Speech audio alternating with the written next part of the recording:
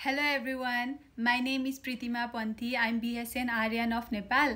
मैले आफ्नो NCLEX exam March thirteen twenty twenty थ्रीमा दिएको हो and I passed it on the first attempt with seventy five questions मलाई चाहिँ आजसम्म मैले नर्सिङमा जति पनि एक्जामहरू दिएको छु त्यसमध्ये अलिक टफ चाहिँ एनक्लेक्स एक्जाम नै लाग्यो and I really had to work hard for it र यो भिडियो आज किन बनाउँदैछु भन्दा when I was prepping for the NCLEX examination मलाई चाहिँ कहाँबाट स्टार्ट गर्ने कुन मेटेरियल युज गर्ने कुन क्वेसन ब्याङ्क युज गर्ने अनि इक्जामको प्रेसर कसरी ह्यान्डल गर्ने रियल टाइम इक्जामिनेसन एक्सपिरियन्स कस्तो हुन्छ इक्जाम दिँदा के के कुराहरू ध्यान दिनुपर्छ त्यो सबै कुराहरूबारे केही पनि नलेज थिएन।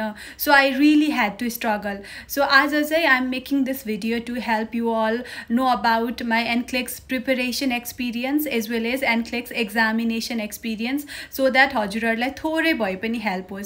सो लेट्स स्टार्ट सो मैले चाहिँ एप्रोक्सिमेटली फोर मन्थ्स अगाडि एनक्लेक्स एक्जामको लागि पढ्न स्टार्ट गरेको हो। र थ्री एन्ड हाफ मन्थ्स अगाडि चाहिँ मैले एनक्लेक्स एक्जामको डेट लिएँ। र every day I make sure that I study eight to ten hours म भन्दिनँ कि सबैजनालाई यति नै टाइम लाग्छ भनेर। It might differ depending on हजुरको क्रिटिकल थिङ्किङ एबिलिटी अनि मेमोरी पावर कतिको स्ट्रङ छ अनि रिभिजन कतिको चाहिन्छ। यो सबै कुराहरूले चाहिँ हजुरको प्रिपेरेसन टाइम फरक पर्न सक्छ। I feel I was a good student मैले ब्याचलर पनि स्कलरसिपमा पढेको हो र मलाई रिभिजन चाहिँ एकदमै धेरै गर्नुपर्छ र यी च्याप्टरमा चाहिँ हरेक सानो सानो कुरा पनि मजाले पढेर मात्रै अगाडि बढ्न मन लाग्छ। So it took me that time र कन्टेन्टको लागि चाहिँ आई युज सन्डर्स मैले सन्डर्सको साउथ एसियन एडिसन किनेको थिएँ and I started with cardiovascular system हरेक च्याप्टरको डिजिज पोर्सन र डायग्नोस्टिक टेस्ट चाहिँ मैले मजाले पढ्थेँ अनि मलाई गाह्रो लागेको र पढ्न अल्छी लागेको टपिकहरू अनि कन्टेन्टहरूको लागि चाहिँ मैले युट्युब भिडियो हेर्थेँ।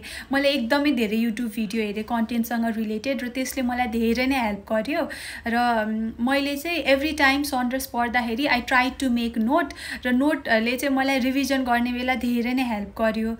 सो मैले चाहिँ सन्डर्स र युवल पढेर प्रिपेयर गरेको यो सर्ट एन्ड स्विट नोट हो। नोट चाहिँ मैले सबै च्याप्टरको बनाउन भ्याइनँ। त्यसैले मैले इम्पोर्टेन्ट च्याप्टरहरूको मात्रै नोट बनाएको छु। र नोट बनाउँदा चाहिँ यसरी मैले डिफ्रेन्ट कलरको डट पेन युज गरेको छु सो द्याट पढ्दाखेरि मोनोटोनस नहोस् र आई क्याचिङ पनि होस्।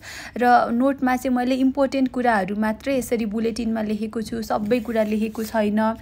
र नोटमा चाहिँ मैले हरेक च्याप्टर अगाडि यस्तो स्टिकी नोट बनाएको छु कि? सो द्याट हरेक च्याप्टर पढ्नु पढ्दाखेरि खोज्दाखेरि मलाई डिफिकल्टी नहोस् अनि इजिली पल्टाउन पाइयोस् भनेर सो यो थियो मेरो नोट अनि जुन जुन पार्टहरूको चाहिँ मैले नोट बनाउन पाइनँ त्यो पार्टहरू चाहिँ मैले सन्डर्स बुकमा यसरी हाइलाइट गरेर पढेको थिएँ।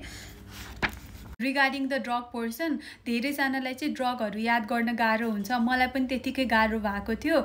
मलाई चाहिँ पढेर भन्दा पनि भिडियो हेरेर धेरै याद हुन्थ्यो। सो ड्रगको लागि चाहिँ मैले युट्युब भिडियो हेरेँ धेरै नै। पछि क्वेसन ब्याङ्क प्र्याक्टिस गर्दै जाँदा पनि हजुरलाई कुन कुन ड्रग इम्पोर्टेन्ट छ भन्ने कुराको आइडिया हुन्छ। So it will help you अनि ड्रगको लागि चाहिँ I suggest you note prepare गर्नुहोस् र त्यहीबाट पढ्नुहोस्। त्यसै गरी यो चाहिँ मेरो ड्रगको नोट हो। ड्रगको नोट बनाउँदा चाहिँ मैले आफूलाई इम्पोर्टेन्ट लागेको ड्रगहरू यसरी डिफ्रेन्ट कलरले लेखेर अनि मेन मेन पोइन्टहरू मात्रै नोट डाउन गरेको छु। र रिभिजन गर्ने बेला चाहिँ यो नोटले मलाई धेरै नै हेल्प गर्यो। सन्डर्स पढ्दै जाँदा चाहिँ एभ्री टाइम जब मैले कन्टेन्ट पढेर अनि च्याप्टर पढेर क्वेसन प्र्याक्टिस गर्थेँ नि मोस्ट अफ द टाइम मेरो क्वेसन मिस्टेक नै हुन्थ्यो कि? So if that's the case for you it's normal keep going मैले चाहिँ एप्रोक्सिमेटली वान मन्थ जस्तोमा सन्डर्स पढेर सकेँ र सन्डर्स पढिसकेपछि चाहिँ मैले युवर्ल्ड पर्चेस गरेँ।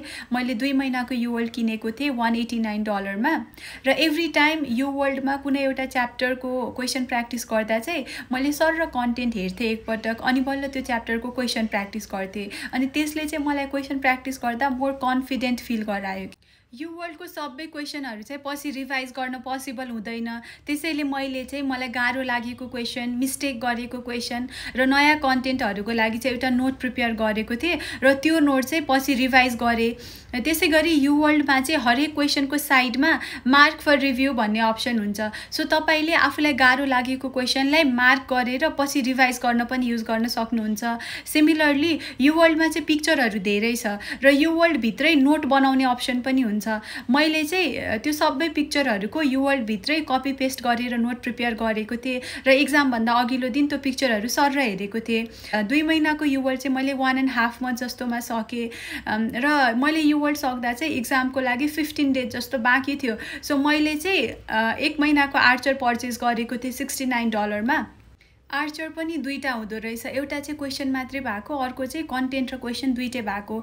मैले चाहिँ क्वेसन मात्रै भएको एक महिनाको आर्चर पर्चेस गरेको थिएँ। इक्जामको क्वेसन चाहिँ एक्ज्याक्टली आर्चर जस्तै लाग्यो मलाई। सो आर्चरले चाहिँ इक्जामको लागि अझै कन्फिडेन्स बुस्टअप गर्दो रहेछ। आर्चरको क्वेसनहरू प्र्याक्टिस गर्दा पनि यसरी मैले सर र सानो सानो पोइन्टहरू टिपेर नोट बनाएको थिएँ। So that at the end मैले यो नोटहरू सर र रिभाइज गरेँ र पहिला पढेको कुराहरू रिकल भयो। मार्क क्लिमेकको नोटले पनि एन्फ्लेक्स प्रिपेरेसनमा धेरै हेल्प गर्छ। मलाई चाहिँ मेनली प्रायोरिटी र डेलिगेसन पार्ट चाहिँ एकदमै गाह्रो लाग्थ्यो। सो मार्क केको नोटले पनि त्यो पार्टलाई धेरै हेल्प गर्यो। सिमिलरली युवर्ल्डको क्वेसनले पनि प्रायोरिटी र डेलिगेसनलाई चाहिँ धेरै हेल्प गर्दो रहेछ। त्यसै गरी अर्को एउटा कुरा चाहिँ इक्जाम आउने आउने बेलामा दुई तिन दिन अगाडि म हजुरलाई के रिकमेन्ड गर्छु भन्दा नयाँ कन्टेन्टहरू नपढ्नुहोस्। बरु पहिले पढेको कुराहरू मजाले रिभाइज गर्नुहोस्। किनभने इक्जाम आउने बेलामा मेन्टल प्रेसर एकदमै धेरै हुन्छ। अनि यदि तपाईँले त्यतिखेर नयाँ कन्टेन्ट पढ्नुभयो भने त्यो नयाँ कुरा याद नै हुँदैन झन् मेन्टल प्रेसर बढ्दै जान्छ के?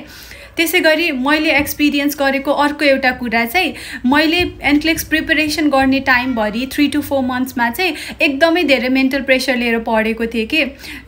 अनि त्यो धेरै मेन्टल प्रेसर लिएको कारणले गर्दा चाहिँ मेरो पढाइमा पनि इफेक्ट पारेको थियो। सो म हजुरलाई के सजेस्ट गर्छु भन्दा यदि तपाईँले हार्डवर्क गर्नुभएको छ भने डेफिनेटली हजुरको रिजल्ट राम्रो आउँछ। आफूलाई धेरै मेन्टल प्रेसर दिएर चाहिँ नपढ्नुहोस्। यो थियो इक्जाम प्रिपेरेसनको पार्ट अब चाहिँ इक्जामको मेरो एक्सपिरियन्स मेरो इक्जाम सेन्टर चाहिँ न्यु दिल्लीमा परेको थियो। म र मेरो साथीहरू दुई दिन अगाडि न्यु दिल्ली पुग्यौँ इक्जामको अघिल्लो दिन चाहिँ लिटरली मैले पढ्नै सकिनँ। हुन त त्योभन्दा अगाडि पनि मैले मजाले रिभाइज त गरेको थिएँ। तर त्यो दिन चाहिँ ला के रिभाइज गर्ने कति धेरै छ त रिभिजन गर्ने कन्टेन्टहरू भन्ने त्यो थटले नै मलाई एकदमै एन्जाइटी गरायो कि। सो मैले लिटरली पढ्नै सकिनँ। त्यो दिन मैले पढ्दै पढिनँ भनौँ। भनौँ न। सो एक दिन नपढेर चाहिँ खासै फरक नपर्दो रहेछ भन्ने चाहिँ मैले रियलाइज गरेँ। अनि मेरो साथीहरूको इक्जाम चाहिँ आठ बजेको थियो तर मेरो इक्जाम चाहिँ एक बजेको थियो। म हजुरलाई के रिकमेन्ड गर्छु भन्दा इक्जाम चाहिँ सकेसम्म मर्निङ टाइमकै लिनुहोस् किनभने एक बजेसम्म पुरै एनर्जी ड्रेन भइसक्दो रहेछ अनि राम्रोसँग फोकस पनि गर्न नसकिँदो रहेछ के? सो अनि इक्जाम दिन जाँदा चाहिँ पासपोर्ट लगे पुग्छ। अनि इक्जामको बिचबिचमा चाहिँ ब्रेक पनि लिन पाइन्छ। मैले चाहिँ तिन पटकसम्म ब्रेक लिएको थिएँ किनभने मलाई कस्तो एक्जस्टेड फिल भइरहेको थियो त्यो क्वेसन सल्भ गर्ने बेला। सो ब्रेक लिएर अनि फ्रेस क्वेसन अप हुँदै मैले इक्जाम दिइरहेको थिएँ। अनि सेभेन्टी फाइभ क्वेसनमा मेरो क्वेसन एन्ड भयो र दुई दिन दुई तिन दिन पछि चाहिँ रिजल्ट आयो द्याट आई पास्ट भनेर। सो यति थियो मेरो एनक्लेक्स एक्जामको एक्सपिरियन्स मेरो एनक्लेक्स प्रिपेरेसनको एक्सपिरियन्स आई होप मेरो भिडियोले हजुरहरूलाई थोरै भए पनि हेल्प गर्यो। Thank you for watching the video bye